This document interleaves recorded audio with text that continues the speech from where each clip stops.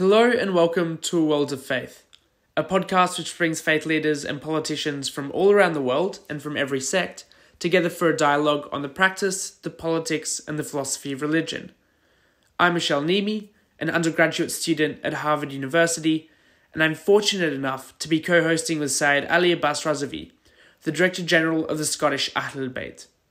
Tonight we're joined by two brilliant guests Ms. Merete Bilde, who's a policy advisor for the European Union External Action Service, the foreign policy wing of the EU, and Dr. Elizabeta Kitanovic, Executive Secretary of the Conference of European Churches.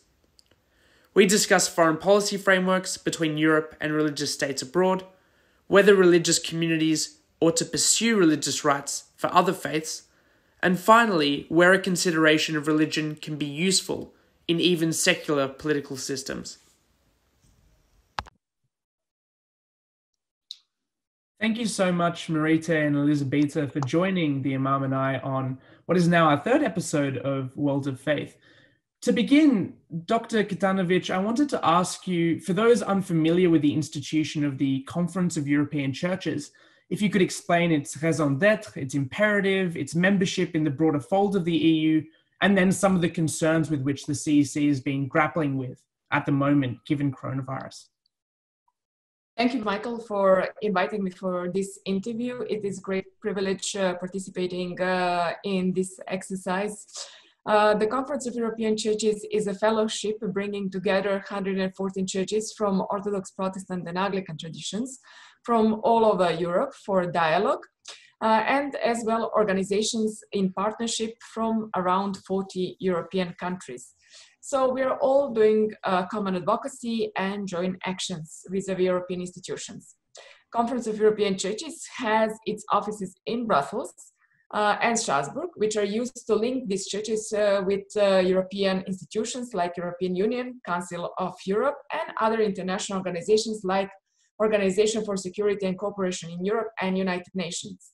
The Conference of European Churches emerged from the fragmented and divided Europe of the 1940s and 1950s. Following the Second World War, there was a real need in Europe to overcome political divisions and work for healing and peace. At this time, small group of church leaders who were very enthusiastic in East and West began to consider the possibility of bringing together churches in European countries, separated by different political, economic, and social systems and the agendas at that time. Their hope was that churches could become instruments of peace and human rights and understanding throughout a wounded continent. Together, European churches strengthen common witness, act in service to Europe and the world, promote peace, human rights, democracy, and rule of law, and work for the unity of the church. The Conference of European Churches emerged as a peace building effort in 1959 building bridges between East and West during the Cold War.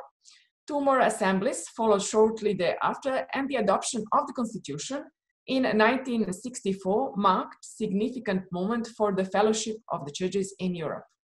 The 1964 assembly was very important because it was held in the sea uh, at a ship in Brochel to overcome last minute visa difficulties. And you will see that Conference of European Churches has small boat, which actually uh, reflects uh, um, this boat uh, in our existing logo. The original mission carries us to forward uh, today as we continue to work for a human, social, and sustainable Europe at peace with itself and its neighbors. Uh, today, CEC priorities are at the moment uh, protection of the environment, then we are dealing with the issues of artificial intelligence and bioethical issues. Then uh, among priorities are human rights, democracy, rule of law, peace in Europe and its neighborhood.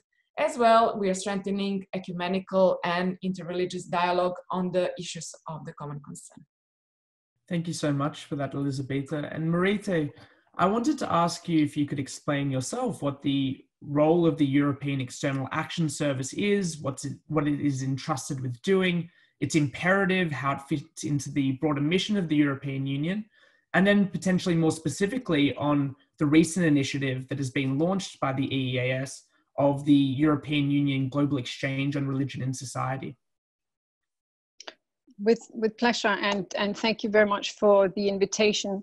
So, um, the European External Action Service is uh, a foreign um, ministry by another name. It uh, was set up to help the EU institutions to, to define its uh, foreign policy projection in uh, eh, le- leading on from um, the experience we had with uh, Javier Solana, who was the first high representative, and then uh, this started in 2011. Uh, the idea is that uh, we both have commission officials, EU officials, working side by side with national uh, diplomats from the 27 member states I am one of such diplomats, um, but I've been here for uh, since the very beginning, which has been a, a fascinating journey.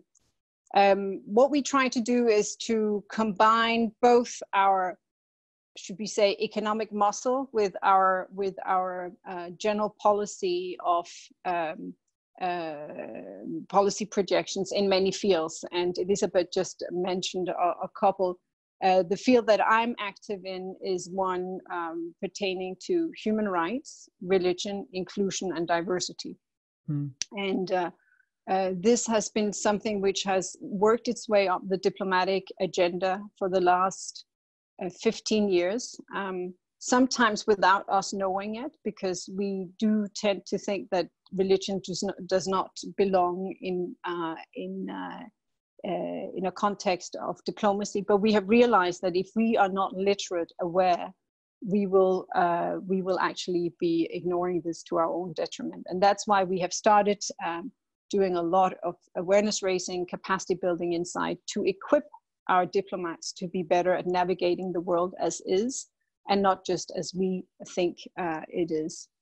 Um, you asked me about the EU's Global Exchange on Religion in Society, mm-hmm. which was uh, launched last year by High Representative uh, Federica Mogherini. And the origin of this is a little bit that we have been blind spotted and not wanting to recognize that religion can actually be part of the solution. Because very often, when you listen to the global debate on religion, it's about repression, it's mm-hmm. about polarization, it's about violence. Whereas if you take the microphone away from the that very vocal and at times very violent minority and and pluck it in further down at the level of grassroots and civil society actors you sometimes see a quite different picture and for us as diplomats and especially those of us who sit very far from from the ground it's very important that we are um, aware that there are things out there happening that does not need our intervention or empowering, if you would like, but where we need to make sure that we give voice and visibility to those civil society actors who want to work together in the spirit of wanting to live together in different minority majority settings, um, managing uh, global, uh, managing uh, uh, cultural diversity in a globalized setting, et cetera, et cetera.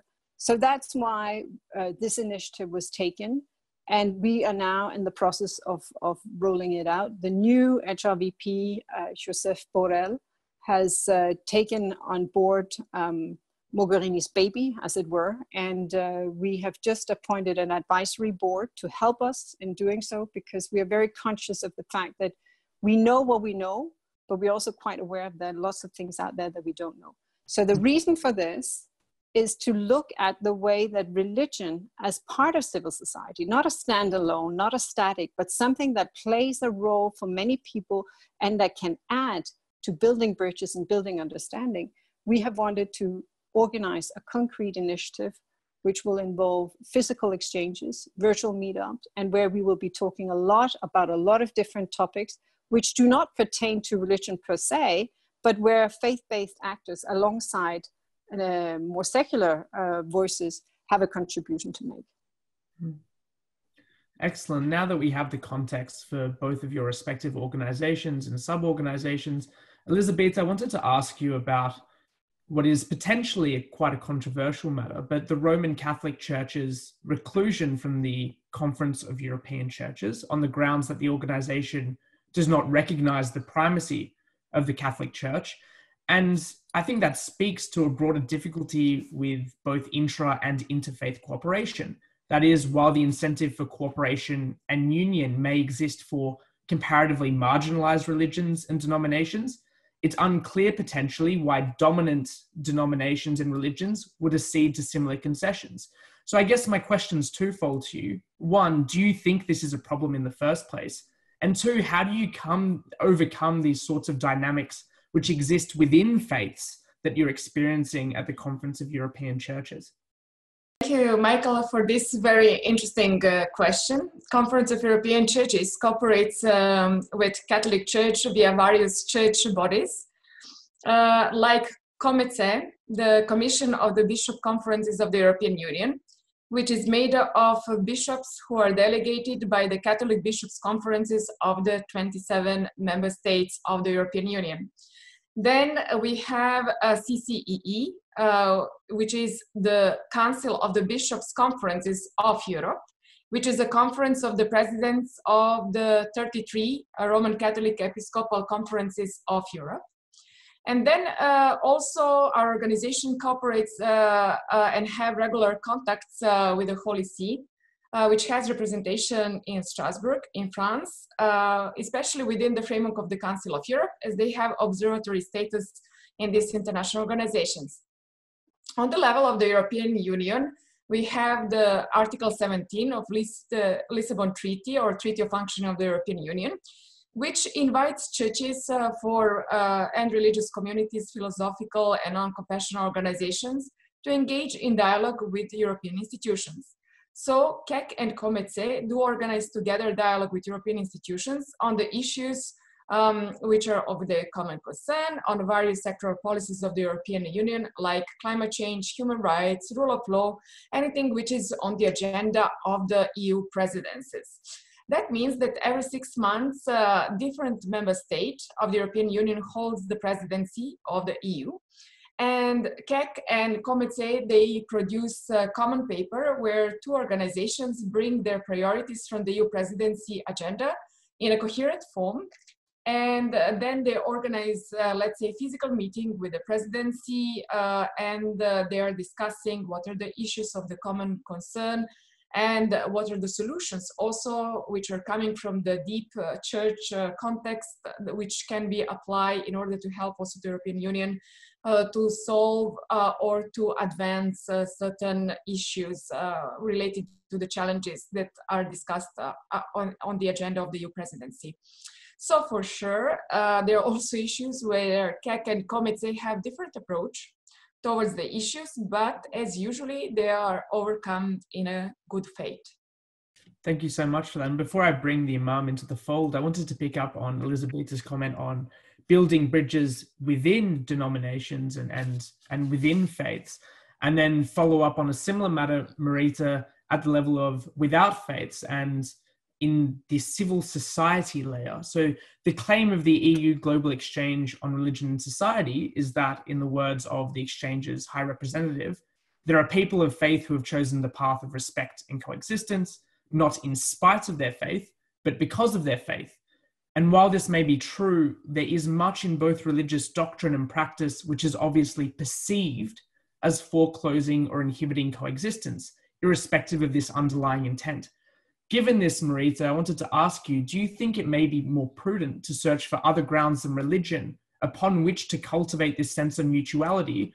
And if not, what is the role of religion specifically, where potentially there are other mechanisms, where there may be broad gestures towards human rights writ large, or your respect for human dignity or nationhood, these other alternatives? Where do you see religion fitting into this picture? Oh, thank you very much for that very simple question, which I'll try to unpack. um, when Federica Mogherini uh, put her words as she did, she wanted to say that we there is sort of a expectation that religion is always on the side of trouble. But mm. here saying it is precisely because of the background, the motivation, the aspiration, that they bring out their religion in good faith. And as we sometimes say among ourselves, there's a lot of good religion, but there's also sometimes a lot of bad faith. And this is our challenge as diplomats to know our place, to navigate, and to know who to partner with and where to step aside. We are not and will never be experts on religion per se. But what we need to understand is religion is not something static, is not something that sits in a church, in a mosque, in a synagogue. It's something that's lived. And what we want to understand is very close to the local context. How does that play out in different terms of statehood, citizenship, and a sense of religious belonging? That is, in fact, the title of a training that we are running at the end of this week for 25 diplomats uh, mm-hmm. inside um, my organization, and where we will unpack this. Now, why do we bother to look at religion? We do that because we know that aspects of religion is very relevant to today's world, and aspects of religion gets played both by faith-based actors, as you just alluded to, but certainly also by certain states who have found out that religion is sort of the new soft power that they can project. And it's actually not that new, it's just that we are late to the game. So we are realizing that this is happening. Our duty then is to understand how does that impact our policy goal of creating inclusive, tolerant, and democratic societies. How do you go about that? If you have a state which gives in to a degree of sectarianism, which serves on the rise of, I would say, this post COVID ethnic nationalism and give into this kind of we, we we are more there for some than we are for others this mm. kind of kinship democracy. How does that fare? And of course, we are not in the business of promoting secularism, but we want to understand what happens when the state takes takes side. And we've seen that increasingly around the world, including in our own societies, where you have a sense that some citizens are more first class and others are second, if at all. We've seen how certain states now start defining themselves in terms of religion We've seen what Modi in India wants to do. We've seen things in Israel, Australia, you name it. It's not uncommon to, to including to countries that are close to ourselves. So understanding that when we are in the business of promoting democracy and shared citizenship, can we do that without knowing how this fares when you put on a religious lens? Now we do that not because we want to increase the role of religion, because that's clearly not our uh, our job either, but we want to make sure that people's different sense of religious belonging doesn't get caught in between this. And this is today very much a challenge. How do we make sure that we have human rights for all, that we have freedom of religion and belief for all, not just for some or not just for the majority? How do we make sure that there's real equality, real inclusion, and that i think is when we start unpacking the social contract of how we live together how much space is there for the differences? And we need to know that we have a special duty to minorities we can always be a minority somewhere in the world but if you let majority rule we all know the problems of that. And that's why um, we don't overinvest in religion or give a blanco check to faith-based actors, but we listen and we try to make sense of who are the ones that we can partner with in creating what I said is our policy objective of being finding more inclusive and democratic societies. Mm. And I guess more tangibly, then, thank you so much for that answer, Merete. But tangibly on the ground, Imam, as a religious leader of what is a minority religion, Shiism, how do you stave off these imputations of division which often come exogenously? They come from outside. They come from perceiving of the Iraqi, the Iranian state, what's happening with sectarianism, as Merete so aptly synthesized around the world, presumptions of exceptionalism of specific religions. As a religious leader in a Western context, how do you stand as an individual against the force and the weight of that media presence and the weight of the presumptions which undergird being a religious leader in the first place? And what do you think your role in that, in generating that compatibility between the rights of all and the rights of your specific religion as a religious minority are? Thank you so much for that. It's quite a complex question. But in short, I'll, I'll give you the answer, then I'll, and then I'll go about unpacking it. I'd say that if we spend time in just focusing on eradicating or countering the negativities, I don't think we'd get anywhere. I think the most practical thing we can do is practical work on the ground. And the last five years or so has shown us that the ability to come together, to work together, and to develop friendships. Now, hmm. starting from the beginning, you see, Islam is a fledgling religion in Europe and most probably in the Western world. Its history doesn't go beyond 100 years. You know, prior to World War One, Islam was really the enemy of Christian nations. You've got the, you've got the Ottoman Empire and so forth. After the decline of imperialism and these empires, um, what you do find is that Islam finds its way into Europe. And it's not until very recently that Islam has come onto the surface again. So in the 20th century, at least Europe felt that religion didn't play a part as much as it said that it possibly may play a part. And then the 21st century sees a religiosity that has defied expectation. So within that kind of context, what we're now seeing is a new situation, something very unique. So I don't blame institutions for not understanding where to place religion. I don't blame countries for not understanding where religion fits in. The 21st century, especially 9 11, has been a watershed, and it's seen fundamentally a, rise in religiosity. Be it in Europe or the United States, you've seen people believing in God increase, if not following a formal religion.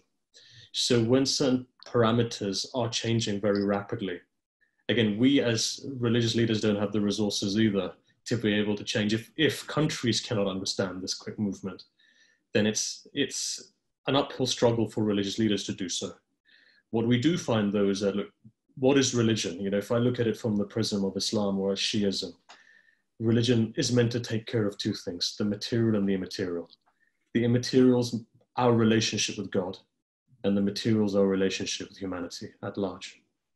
And we've seen in the last couple of years that this also includes the environment. So I'd say the last seven hours in the last week of, of my life has been spent in meetings in relation to the environment, in relation to the ecology. And that's a new field that, for example, that I find myself in. Because bearing in mind, most of our structures are in the Middle East or in the East. It's new for communities, Muslim communities in the West, who are facing these challenges. And it's very simple. Why is that? Because I may be second or third generation. However, in the 20th century, leadership was in the hands of those people who were not equipped with the culture of the West. They weren't born into the culture. And so, therefore, what you are seeing is an evolution. And for us to get to that stage where Christianity or Judaism is, I think will take a generation. But if allowed to evolve, you will see a very British, European, or American form of Islam. And it's rising, it's coming. American Muslims are distinctly different from European Muslims. And for somebody who spent six months of my life traveling between these two continents, you can see that Islam is in one fold. American Islam is different. It is more patriotic. It is more accepting. European Islam, Muslims do in Europe feel like second class citizens. Okay, if we put aside the last three years in North America, let's say, but generally, the vast majority of Americans do feel American. And that is because of an overarching um, nationalism which is there, which is not prevalent actually within Europe. So even though Europe does claim to be secular, mm. why is it mm. failing them in um, opening its doors to, let's say, the Muslim community? So now coming into my own challenges. So I'm sitting in a position whereby I started off my career in Europe and then I came back to the UK. So I was engaging in or with people in Brussels and other places like that. And then after that came back to the UK Scotland, and now, as you know, in the United States, we're also um, working to bring communities together. For me, I've had to invent everything. We didn't have these structures. We didn't have what we do at this moment in time. So we've had to invent things. We've had to make things. We've had to, structures have been there, yes. Within Shiism, there's a hierarchy, which is not prevalent in the Sunni community. However, with those structures, we've had to remold it for a more European and a Western context. And what I find it's extremely important for us is when we take the principles of, let's say, Jesus and the Prophet Muhammad, and we evolve those principles into a more holistic um, kind of strategy. And that is what it was meant to be. If I look at Medina in the time of the Prophet, or if I look at Jesus, especially within the Gospel of John, if you look at his kind of overarching holistic view of things, that is exactly what we are trying to model. So it's important for us to be all encompassing. And so, therefore, what happens is that for us to be inclusive of everyone requires us to do social projects. I've never found theology, um, at least not in the last 900 years, be as fruitful. And I think that that's something that, if we want to really start on theology, let's go back 900 years. I believe Europe does owe a huge debt to Islam. And the reason being is that most of the Enlightenment and after that, technological revolutions actually started off in the Middle East with three religions Judaism, Christianity, and Islam sat in Cairo or in Baghdad or in Aleppo, and they discussed various things. If you look at some of the teachings of Maimonides today, if you look at even what Thomas Aquinas was talking about, these were discussed 100 years before him by Christians, Muslims, and Jews sitting together, scientists, philosophers, great thinkers. And so we have a model that 900 years ago we could work together. Now they were working on the basis of intellectual endeavor. Today, I believe it's time for social endeavor to advocate for one another. And you, you know, you've got Elizabeta right there. She'll tell you some of the work that we've been doing together. Um, some of the good work that we've been doing as organizations, including the Jewish faith, coming together to advocate for one another. And that's what's mm. important advocating for one another. There's no point in me advocating for myself. I feel that in this day and age, we have to advocate for one another. And we were working on a project only last year in regards to Christian minorities. You know, I've put my life on the line in countries like Pakistan, where I still require 24-hour protection. You know, when I when I was last there, we had complete, you know, armed armored protection, and the reason being is it's not because I feel that there's a threat, but because individuals who invite me feel that there may be. And you know, sometimes when you are advocating for other people, there are places in the world which are sensitive to that. I know for a fact Islam doesn't teach that. Islam doesn't teach marginalization. If you look at Medina, it was divided into 10 parts.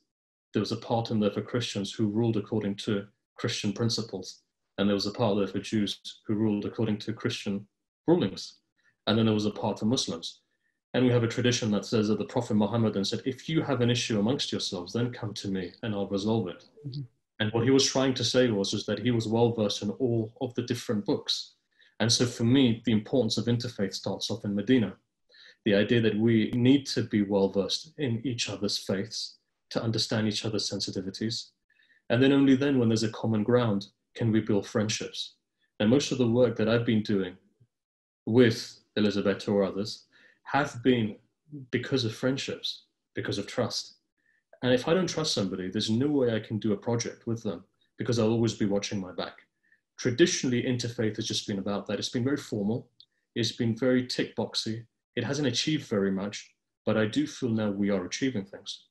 In the COVID era, you've seen some of the good work that's been done, some of the pots of money that we've accumulated for people in Africa and in Asia. That's come from a religious background, that's come from religions coming together to work on that.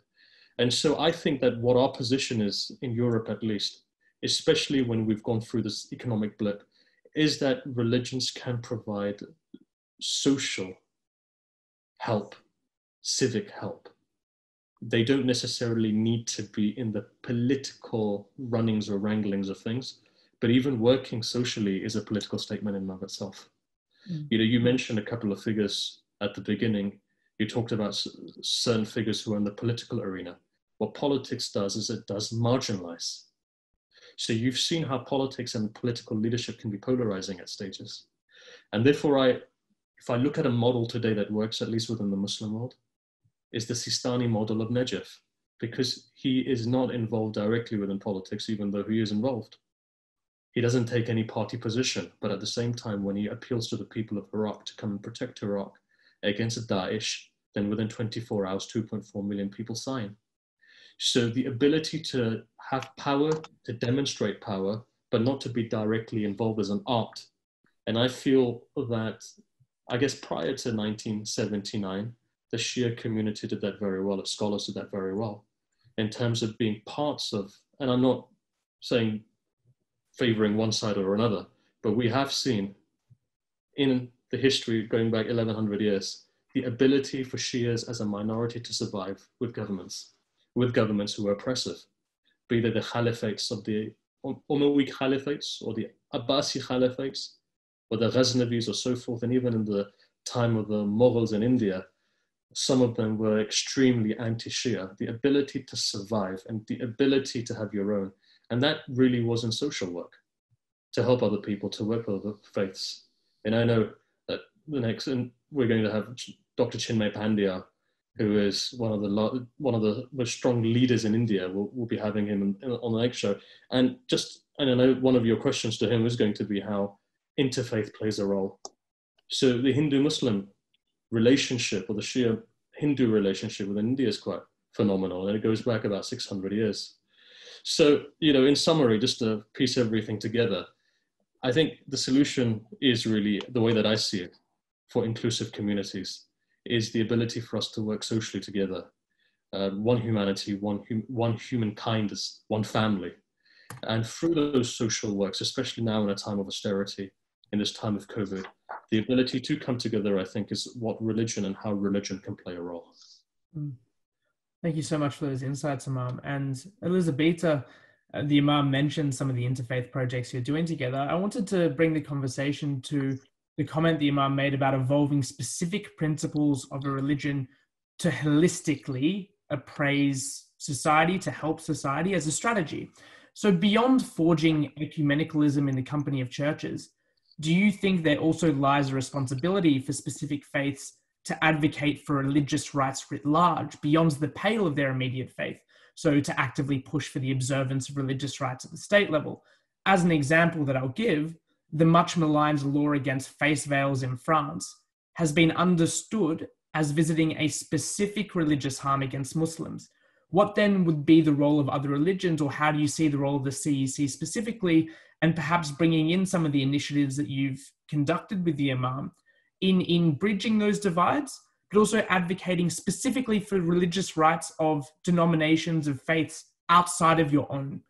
Thank you, Michael, for this very complex question. Um, understanding religion and human rights never was an easy task. Therefore, in the last decade, uh, our organization had developed a program on human rights education to help European churches to deepen the knowledge about human rights instruments and mechanism due to controversy which comes out from the certain set of rights and uh, also their grounds uh, which we can find in the holy books and here I do relate to Abrahamic religions. In the past years, um, uh, Conference of European Churches has included Muslim and Jewish organizations in, uh, in our human rights education program where we uh, discussed the issues like uh, freedom of religion or belief, freedom of expression, then hate speech, and hate crime.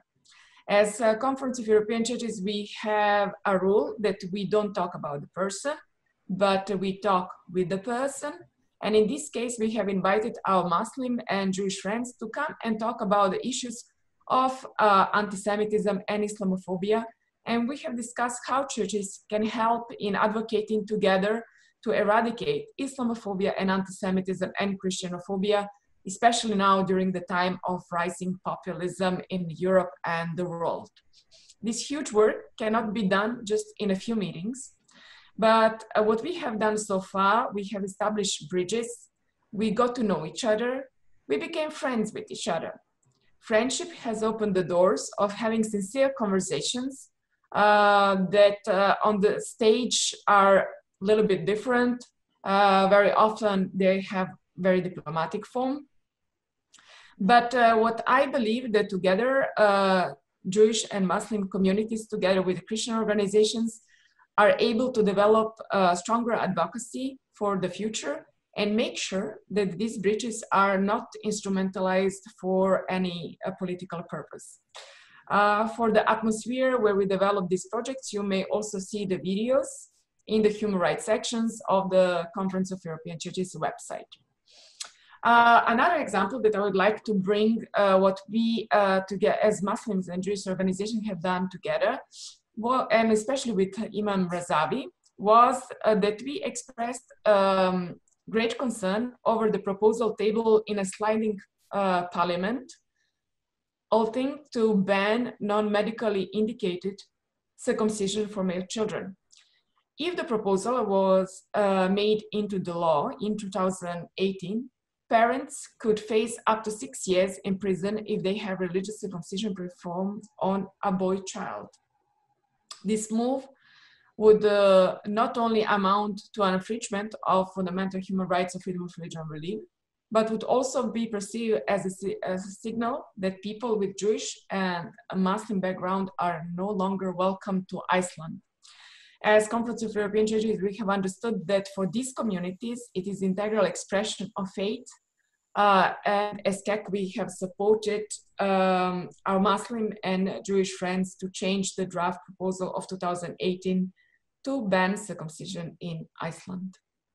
Thank you so much for that answer, Elizabeta. And I guess the two strands there are that one, the human dignity is inalienable and it's what binds religion in theology. And second of all, that question of trust and forging trust through action rather than simply on that theoretical level that you mentioned.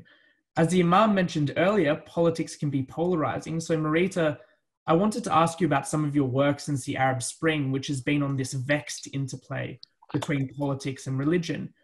Bearing that in mind, much of Western academia, of media, of analysis, which treats this intersection between politics and religion, especially at the state level, considers religion through the lens of realpolitik. That is, religious ideology at the state level is understood as an instrument through which religious leaders advance themselves politically, as the Imam mentioned earlier, rather than a genuine end in and of itself. As an extreme example, again, as the Imam mentioned, figures like Hassan Nasrallah and Ayatollah Khamenei are often perceived and analyzed as charismatic politicians, first and foremost, who extract their legitimacy from religion, rather than clerics whose intent is to fulfill a religious mandate. Equally, in Latin America, the influence of the Catholic Church on governance has been appraised through this lens of power seeking, of expanding its base. So, my question to you then is do you think it may be useful for policymakers to think of religion as more than this political instrument in state and civil society building? And if so, how, when so many of the intentions, the incentives seem to be ones of power and seem to be considerations of politics? I listened uh, just now very carefully to what was said both by Elizabeta and Imam Razawi on, on the practical work and, and some of their uh, reflections on, on why we need to know our history and why we need to uh, be aware that uh, it's sometimes not theology as such as it is diapraxis, is, is, is doing social, social action.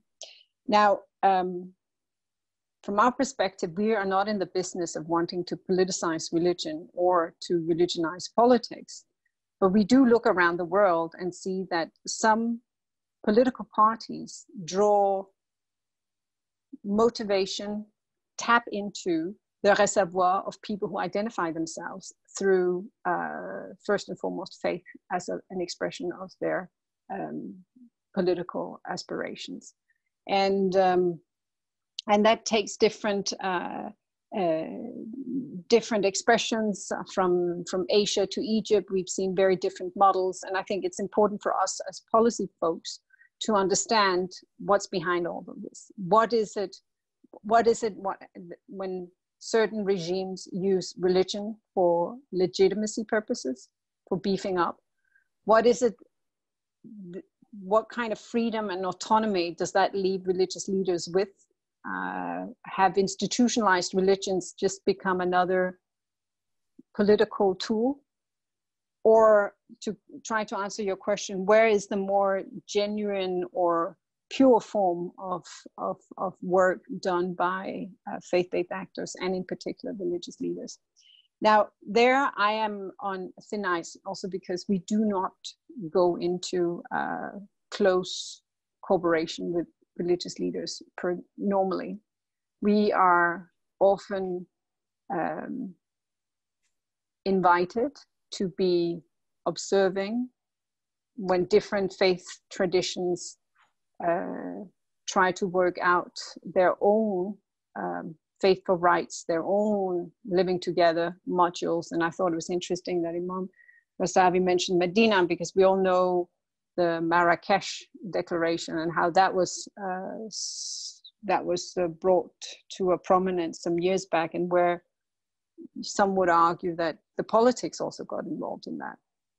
And that's why I think it's very important for us to know our limitations, to say we know that what we need to look at is religion in society, religion and social inclusion.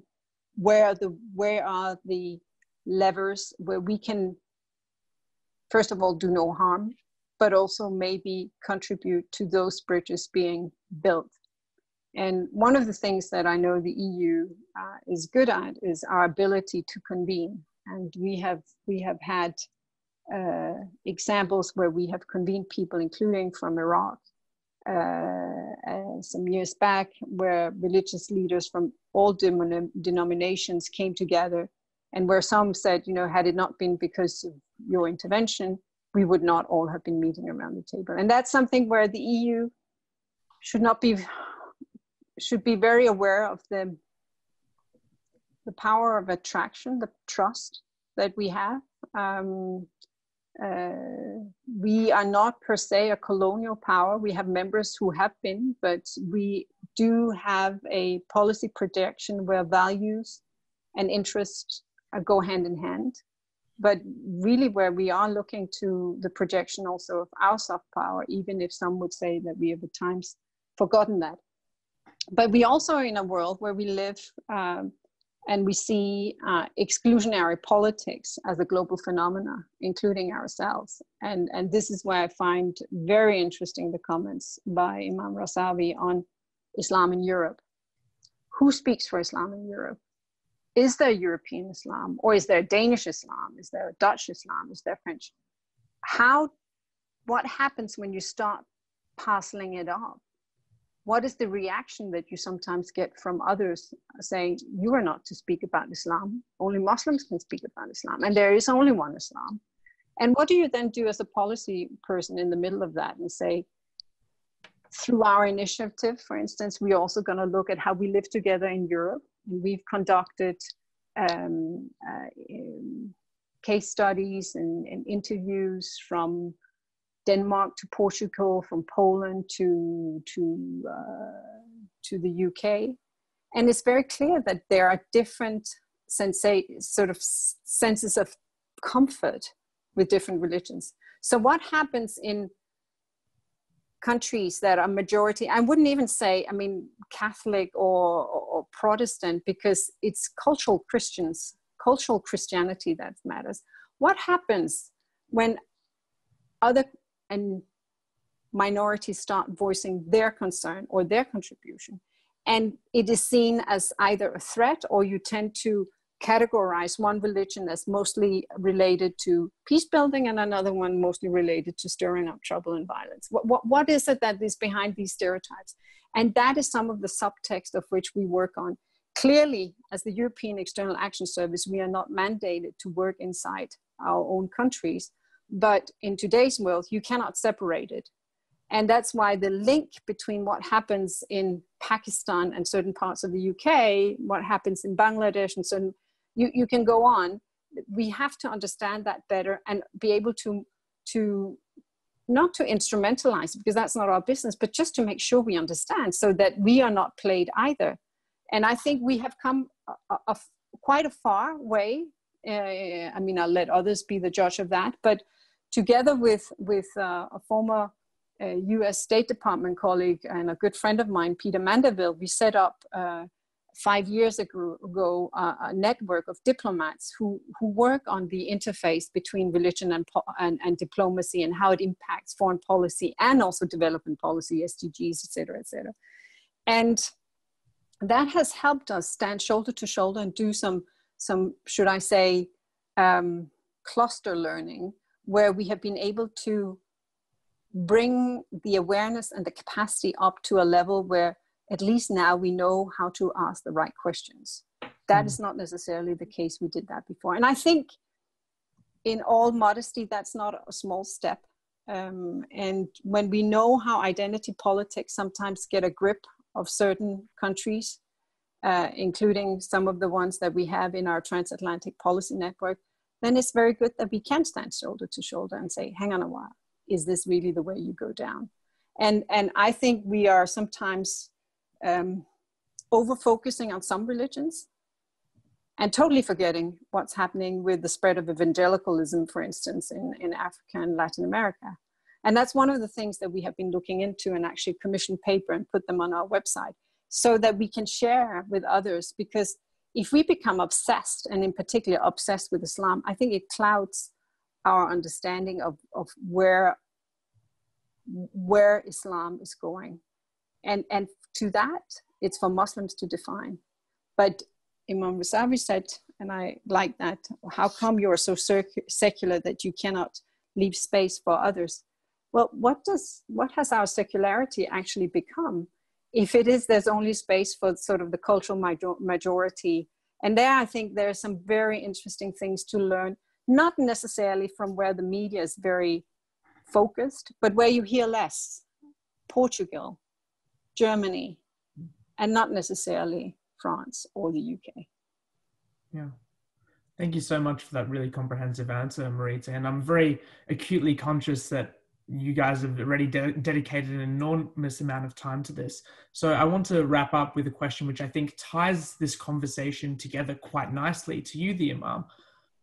Specifically, I wanted to ask about protecting other people's religious life, rights, but on the note of what Merete was mentioning towards the end about identity politics becoming a fissure within the political scene, I wanted your insight on how it is that in a place like England, where Shiism is obviously a vast minority, you can mobilize politically the Shia community behind the basis of the marginality of the Shia community that is under the understanding that they aren't potentially granted full rights in all domains and aspects of society, without making that a fissure within the society, without making that a basis on which you differentiate between someone else, but something you push for for yourself and push for out of your religious intensity and conviction without generating a schism. So, as a religious leader, where do you think your role is in mobilizing without segregating, without dividing, without generating these artificial synthetic political fissures that Merete so aptly gestured towards earlier? A fully, fully loaded question that needs to be unpacked. But I must say that, you know, I was really listening intently to what Merete was saying. And um, I'm just going to start where I think she raised one or two things and then can move in from that into your question. I do feel that when we talk about European Islam, I think that parameters need to be given. And parameters generally are given on the basis of culture. Um, in answer to your question, very, you know, very comprehensively, I would say that in England, because we're third, fourth generation, our culture is English. And even though it may be English, but you still see a huge divide between the Scots and the English. Muslims in England feel like second class citizens. Muslims in Scotland don't feel like that. Perhaps they've been there for 100 years. But when you speak to a Scot, and the vast majority of Muslims in Scotland actually support SNP, which is quite funny as well. So they're, they're in for independence. And when you ask them why that is, it's because of the sense of belonging. Muslims feel that they belong in Scotland, where Muslims in England don't feel that they belong in the same way. And I think that that's very important language plays a huge role, culture plays a huge role. Yes, it's important if I live in Bradford to know what's happening in Pakistan.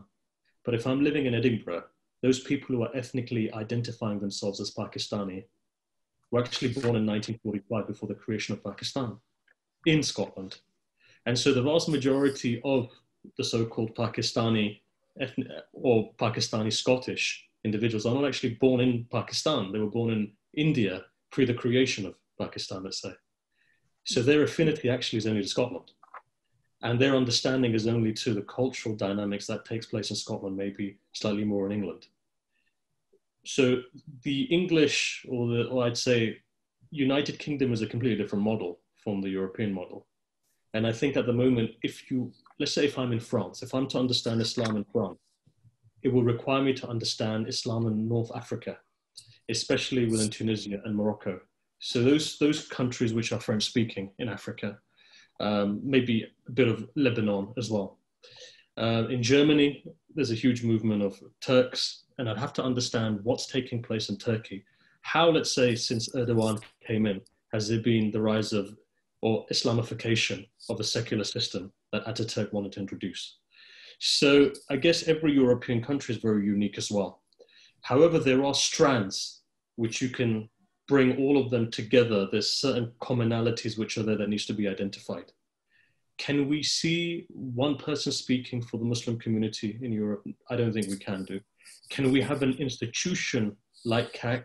Well, we've been working on it for the last two years, whereby, and thanks to the support of CEC, in fact, just to look at certain ways of structuring ourselves how can we do that? How can we have five, six, or seven representatives of the Muslim community sitting on a council? And that's something we've been exploring, and that's something which is evolving. Now, to bring it to the UK, how does it work for us? How are we able to politically mobilize? Is because we speak the language? We know the culture.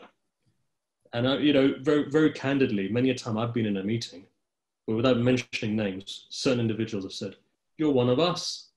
You studied in the same schools as we studied in. You went, you played rugby with us. You went to the same universities as we went to. So therefore, you're one of us. You speak our language, you know our culture. And I find that extremely racist. But at the same time, it is something that when I've been to numerous meetings has been raised. How do you impact a community, a society? Is when somebody identifies you as one of them. You're culturally, in terms of language, in terms of background in terms of the ability to be able to know what another individual thinks, their, how their pulse you know, ticks. So I guess that's one thing. You know, the one way is is that we, at least in the United Kingdom, Scotland more so than England, have the ability to be able to be one of us, so to speak. That's one thing. So when you're able to do that, that's also that's also half of the battle there. It's the same with anything. You know, today, you know, I remember when we were having the discussion with the chief rabbi, the Sephardi, he was Arab. The ability to speak Arabic is enough to bridge a gap in Iraq, is enough to bridge gaps in Syria. At that stage, people don't look at Israel and Palestine. They don't see him as a Jew, they see him as an Arab, a person who speaks Arabic from that culture. And I think the very same thing applies in other places as well. Sometimes you can transcend religion because of your cultural background, because of who you are, the language that you speak. So I think part of the success has been just that the ability to engage with government at the language of government, the ability to understand government from a political and a legal background does help. And also, what helps is the fact that you can go for supper to a fancy restaurant and order the very same thing and eat in the very same way as your counterpart would be able to eat. And I think then to have the discussions, and again, as I said, it comes down to friendship. Mobilization of a community also, one must understand that the Muslim community in the United Kingdom is not a young community, it's not a fledgling community. It's quite an old community. And our youth and our professionals have been good at integrating to be able to advocate. The one thing I don't understand now, and I'll, and I'll be very honest, is why this generation the younger generation who are born and bred in the United Kingdom, and in fact, even within Europe, are more religious than their parents who migrated. And that's something that even I don't understand. It's not, it's something which is completely different. If you look at women now who are wearing hijab, those girls who were born after 1990, more of them are wearing hijab than their sisters, older sisters, or mothers or grandmothers were. Why is it today that Turks, let's say, within the United Kingdom are more religious than their grandparents were in Istanbul?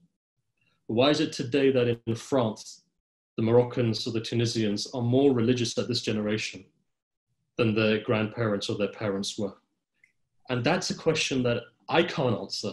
The only thing I look at is 9 11. Perhaps it's the media and Islamophobia that's led to another reaction. And, you know, and that's the only answer that I come up with that it's maybe Islamophobia which has led to, as you were saying, identity, this fight for identity. What defines me? And because that culture isn't there anymore, if I'm second or third generation, let's say my grandson or granddaughter, the only thing that they know about is the fact that they're from the United Kingdom. So their only identity then, if they're treated as the other, is Islam. And Islam is not a culture. Islam is a faith. So then what happens? Then we have to develop a culture very quickly. So, so I guess there are multiple issues that we're facing at the moment, especially in identity politics. What, how do I recognize myself? Who am I? What culture, what cultural background am I coming from? And this is why I said that the UK will have its own culture, Islamic culture. The Americas do have theirs, and Europe eventually will have its. The only thing that's stopping it is the idea of the other and Islamophobia.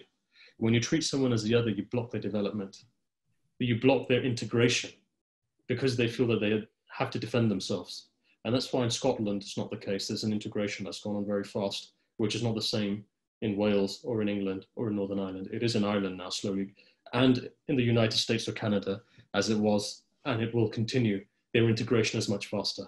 So I find that the integration in Europe and England is slightly less of that speed, and it will take maybe more than one generation. So, really, to sum up what you were saying, the idea of mobilization, we're not out here to divide people. What we are out here to do is to bring people together on one platform. We do not go into any project without having wider representation. And I think the Shia community has always been affected because we've taken the Sunni community with us, at least with the UK government, that whatever's been pressing to us, let's say, for example, the opening of places of worship after this COVID, uh, you know, as we go into phase two, we were very, very open in having the Sunni community with us shoulder to shoulder in that. And we were discussing continuously with the communities. We may have theological differences in the Middle East. Yes, there may be sectarian issues. Yes, there may be people killing each other over there.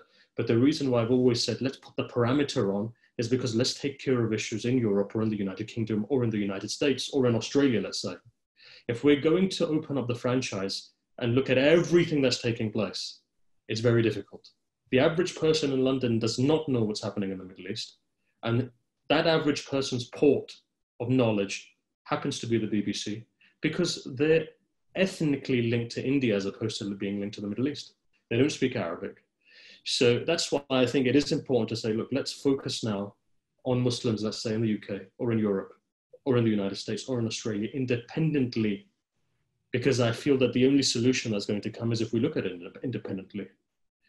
So yeah, so it has to be inclusive. Mm. We have to take our partners um, on board. We have to move together.